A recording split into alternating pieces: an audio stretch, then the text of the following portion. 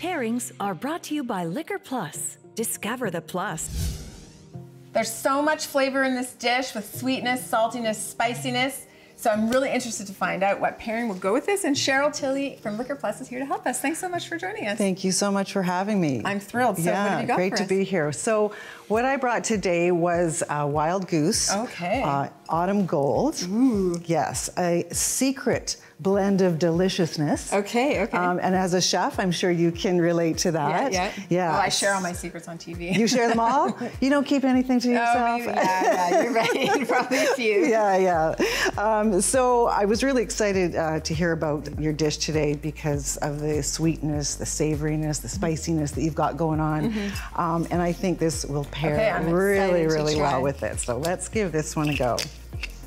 Yeah, so this is again, um, what I really encourage you to do is uh, take a little sniff. Okay, take a sniff. Yep. I'm, I'm, I'm, I'm game.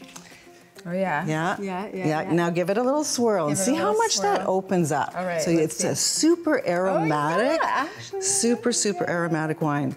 I kind of refer to it as orchard in a glass. All right, okay. Yeah. So Cheers. cheers. to you. We'll have a little sip and then we'll have a taste.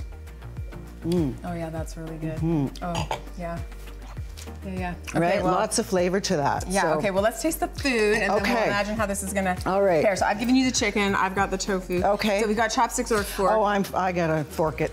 You're gonna I fork it. gotta fork it for sure. So yeah. Mm-hmm. I just love this dish so much. Come on.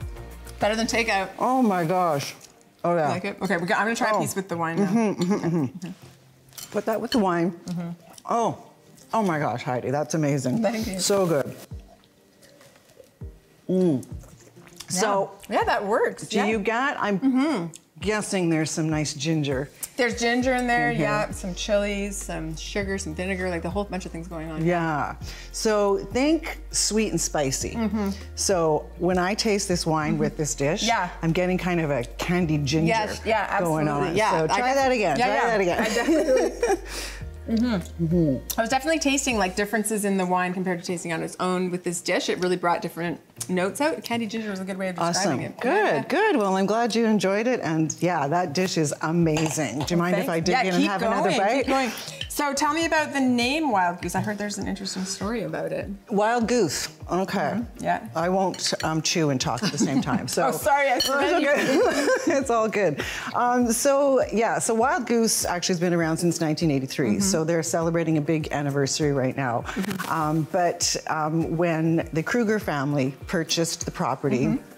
Uh, back in 83, um, Adolf Kruger went to his newly purchased property and um, as he was wandering around, he saw a big flock of geese Okay. feeding off the property. And of course, what do we do when we see a flock of geese? We run to them. So of course, They- they flew off, off. they go, and hence Wild Wild Goose Goose. was Oh, born. I love it. That yeah. visual is amazing. Yeah, yeah. Okay. Well, I don't want to stop you from eating anymore. Okay, thank you. Thank you so much. This was a great pairing. Thanks for coming. Oh, thanks so much for having me.